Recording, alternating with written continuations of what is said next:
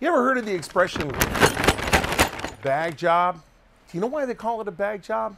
Because it sure as heck isn't my lunch. Let's go find out why we got this 87 lever gun de- uh, delivered to us in a bag. And it's down the rabbit hole once again, boys and girls.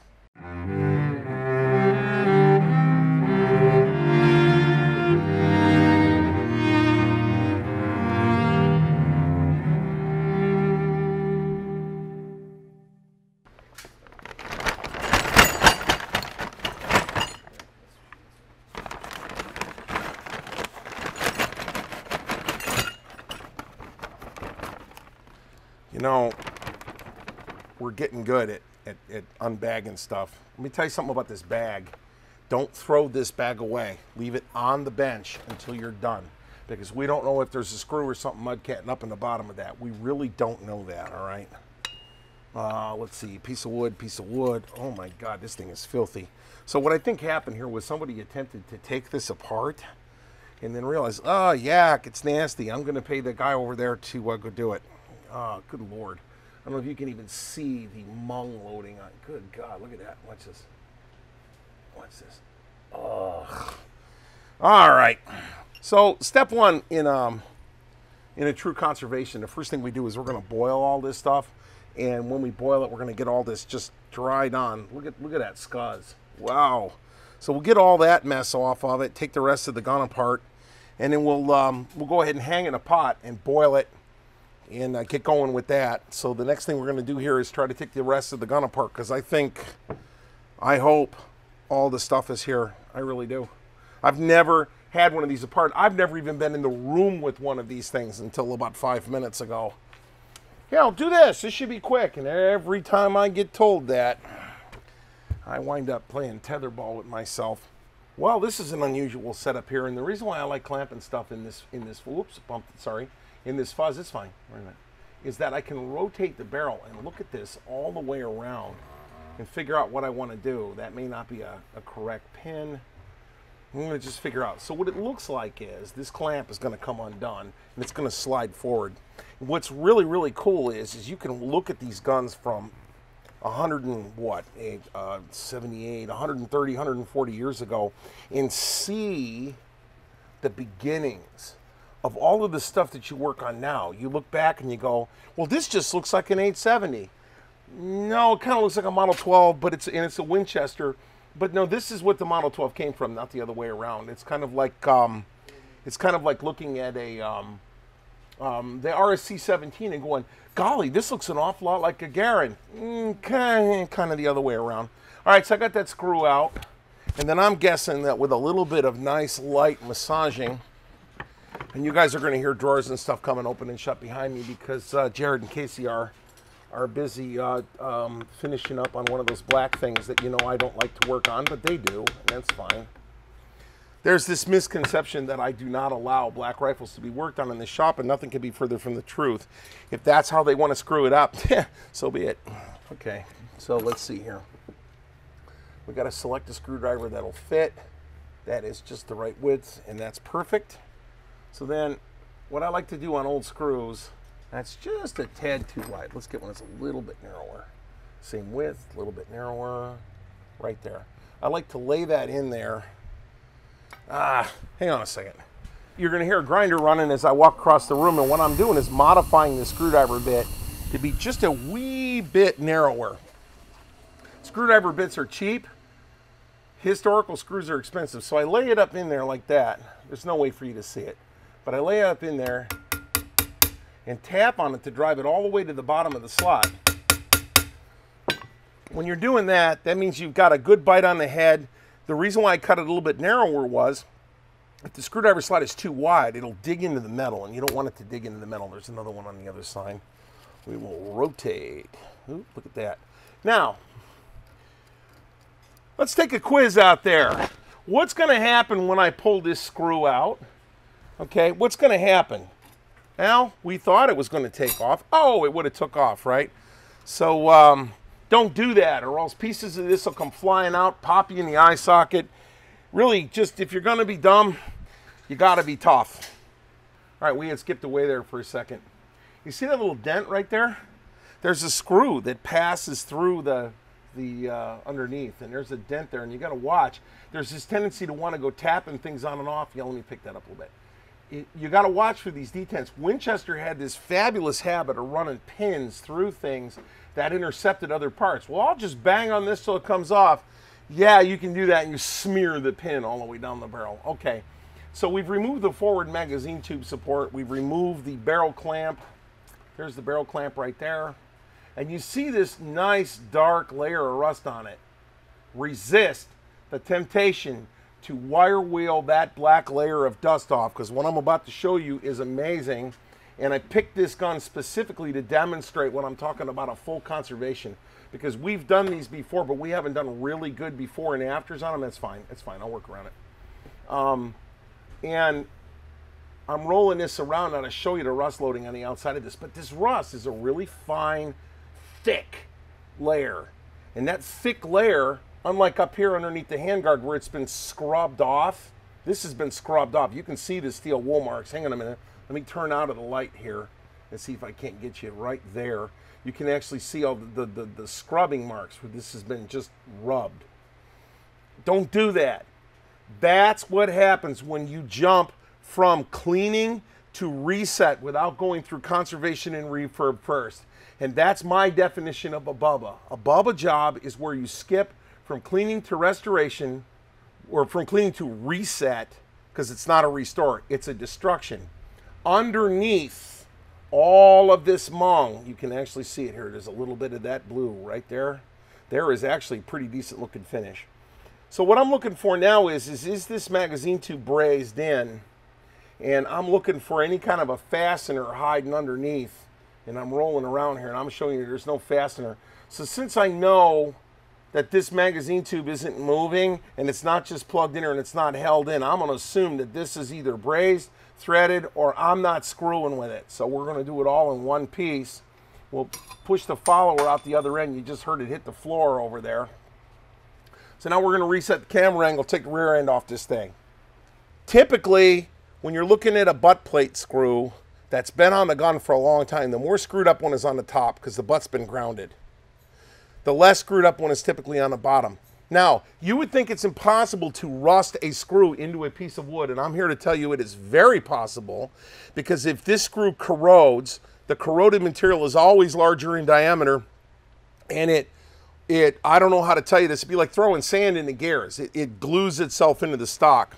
So, once again, we're going to select the correct screw bit, and then I come in typically with a small pick and remove all this mung up inside this, this head here so that the screw bit goes all the way down in it. And there's a lot of mung coming up out of this. Right there, you can see this orange crap coming up out of this. And the thing you immediately see is how deep this is and how shallow this is because the entire top of the screw's been knocked off. So once again, we'll do an impact and I'm gonna go ahead and line the screw head up and there you go. And I'm gonna just tap on it and see if I can't get it up inside that head. There is not a whole lot of slot left in here, so I'm gonna have to hang on to it with my hand. Okay. We got lucky and this one turned. You hear it break loose? So I got asked why, why the sex wax? And I'm gonna tell you what, it's Mr. Zog's. It's, it's a surfboard uh, wax and we keep a little bit of it on every bench because when these screws go back in, we're going to hit them. Plus, it's pretty cool to say I've got sex wax on my bench. yeah, buddy. Okay, let's go after the other one. This screw looks good. Usually I'll see them. They'll be orange all the way down. Hand cut screw. Look at that. This pig's old. All right, let's do the bottom one right quick. And we'll just kind of crack this thing loose. Okay, now you got to watch this stock because, okay, this thing came loose. All right. Now, why didn't that just fall off? Because this stock has what's called a widow's peak on it. Sorry. That's a widow's peak right there, and you got to watch when you drag that through. And you pull this apart, and there's old decayed rust up in there that's been pitted, and it's orange. And you can see where it's been infilled, but this thing looks good. But here's the other thing I want you to see. Could you imagine what this weapon would look like if I was allowed to refinish the wood? Typically, on most Winchesters we found, never remove. Always start from the back and work your way forward, removing screws. Because um, if you start at the forward and work your way back, you'll pop a mainspring, you'll do whatever the heck, and then you'll strip the crap out of everything. And then you got to send it to me, and I'm not cheap. All right, here we go. Good. This thing's coming apart. Nice. Nice. There we go. Let me go ahead and turn this off. Now, quick point of note here, and I, am not sure that I'm going to let you guys know something to be dangerous. But okay, I got my all 16ths back out. We call it an all 16ths because it works on English and metric fasteners. So let's say we really wanted to bump this thing loose. I'm going to show you the setup here. I'll get out of the way. Trust me. Hang on a minute. There we go. So let's say we really wanted to put a little bit of butt on this thing. The beauty of these these uh, Magna-Tip screwdrivers, uh, uh, I, I buy them from Brownells by the pound, um, is you can then put that around that, slide that down on there, push down with the palm of your hand and rotate. Now, you see right down here where my finger is, down here, right there? Guess what happens if the screw breaks this? Whoop, we get a divot in the stock. So as with all things, with great power comes great responsibility. All right, let's pull the screw up, pull the stock off. Okay. All right, this bodes well. This, this, this gun is not fighting me. Okay, why am I standing here on a bench like this? Well, here's something I want to show you. Let's say, for instance, that this stock was stuck. Um, use what you've got. Don't beat on this thing with a hammer. You've got a four pound hammer right here. So I'm using where the comb is, right where this comb rolls out. I'm trying to get a light on it, right there, where the comb line rolls out. And I'm just gonna pop it on the desk, you see, and the action will keep moving and the weight of the action will pull it free and I don't have to beat on it, pry on it, and yeah, good lord, look at what the hell's going on down inside there. Okay, buddy, now we're getting to the good stuff. Let's look at this. Oh, wow, hang on a minute, let me reline that. Wow, we this thing looks like it got dropped in a river. See all that white stuff right there? That's either a bee's nest or it's the wax left over when WD-40 evaporates. I don't know. I'm going with the wax. We have a pot boiling here. It's an $8 Wally World stainless steel pot. And then we have a torpedo boiling, and the torpedo's got an electrical heater in it. This is our quick and dirty rig when we got to do one gun and get it out the door. We just roll it out the front door and plug it in. That's a standard water tube or water heater uh, um, element in the torpedo. You can fake this with about a five foot long piece of gutter laying on top of a gas burner. You get a gutter, you get two ends, you RT it, RTV it on. And when you're all done, when the RTV sets, you just put some water in it, throw it up on a gas ring, and then set it in for a quick boil out. This does a really, really good job of removing cosmoline on and uh, dried on mung, and it also begins to convert that layer of rust and turn it into into ferroferric oxide, which is bluing. We've covered this before, but I'm going to cover it again because this was a unique gun, and I just want to give you the before and after on something, and, and, and just beg you to not take a wire wheel with something right off the bat. Okay, so we've got a two and a half thousandths wheel hooked up here. And uh, Casey's taking this pile of scrode and buffeting it out. And what you see on that is all of the patina that's all converted rust. That's ferroferric oxide. That's all black rust. And if we walk that off, this wheel is really, really fine. If you can't put your finger in the wheel like that, your wheel's too sharp. The blades are too sharp. You can do this by hand with 4-aught steel wool. It can be done. But you remember that rusted out piece of shit that was there that I begged you guys to not take a hardwire wheel to? Look at that. No chemicals. Nothing. All we did was convert that entire layer of surface mung back down, take it off the top, and that's what that weapon looked like a long time ago. That is some sexy stuff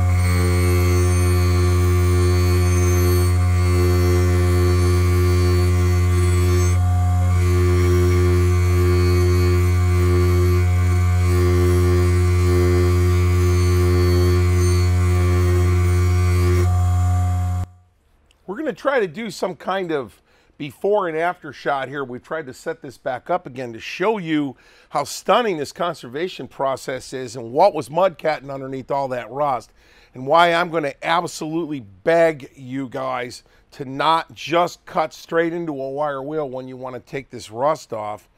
As we can see, and by now I'm thinking that maybe Bruno will have figured out how to before and after you a couple of times here. And if you're not dizzy, hang with me. Um, as you can see up in this area, right up in here, you can see that it's white here. And on the before, they had just run the rust all the way off of it. But if you can see the color of the, uh, the blue here, how rich this turned out and then a little bit of um, uh, steel wool on the wooden parts. And you wind up with a stunning look here. Go ahead and bring it over a little bit. It looks stunning when it's done. And then I'm going to put a little bit of wax on it when I'm all the way done here. Oops, I dropped that screw. How inconvenient. Um, I'm only going to need one to do this. So let me run this screw in. And all of this was just boiled. No chemicals, no nothing. I mean, this, uh, this turned out looking pretty damn sexy here. Actually, I am going to need that screw because apparently that one is significantly longer than the other one. Yes, that's the problem right there. There we go. Okay, um, that little yellow bottle over there. Let me get this screwed in here and I'm going to show you something. There is a... You guys are all accustomed to me using my, um, my toilet bowl ring wax formula. And that's great. But on this was a civilian gun and as you can see, it, it um, it's a civilian gun, and it actually looks pretty good here. This, uh, this wax that I'm using, it's a feeding wax. And when you put this feeding wax in this and you rub all this in, and then you let it set up, and I'm going to let it dry here while I'm finishing running the, this other screw home. What this wax does is it gets in and it nourishes an existing finish. We're not putting a new finish on with it. We're not trying to mimic a hundred years of hand oils like we were, say, on the Gewehr 91 or on a variety of other things that we've conserved in here. But this gun is stunning for something I'd never even seen before. This is stunning. So we'll just rub all this in. And, uh, you can see in the before and afters, man, the difference. I mean, it just sits up there and pops. And this is why I beg people that want to send me stuff, God, don't help me. Don't cut straight to a wire wheel. Convert first. Wire wheel with something nice and smooth like we showed you. And you can pull back to this. This is what's hiding under there. Do the maintenance. I beg you.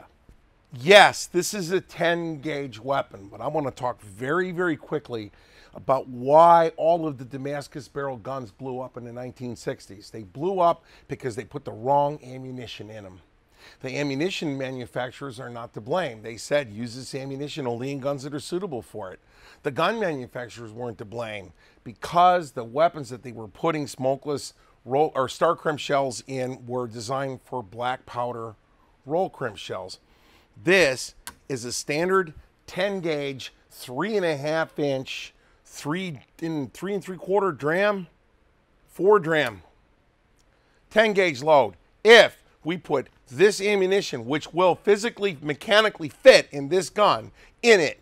We will blow it to absolute kingdom come.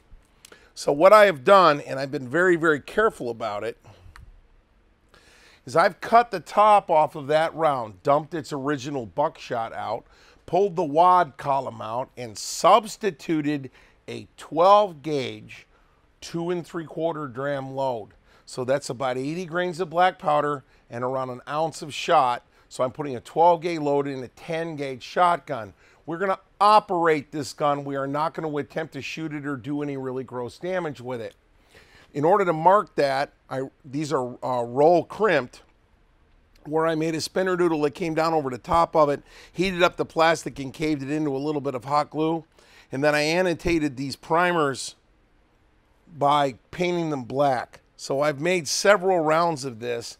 The rest of this ammunition is sequestered up the other end of my shop. There is no steel shot in this room. There is no steel shot in this entire shop because almost every gun I work on here dates back way back. And if you run steel shot and some of these Damascus twist doubles, you'll blow the muzzles right off of them. So you have to be extremely careful what you feed these old girls. But if you feed them what they were intended to be fed, you should have far fewer issues. So what we got to do now is make sure this thing will stay locked shut. And then I'm to borrow another rented shoulder here and let's see what we can come up with. I borrowed the shoulder of our international student to uh, absorb the recall because to be really honest, guys, I'm getting really tired of getting the Terwillikers beat out of me. So we'll beat the crap out of him. Here we go. Do it again.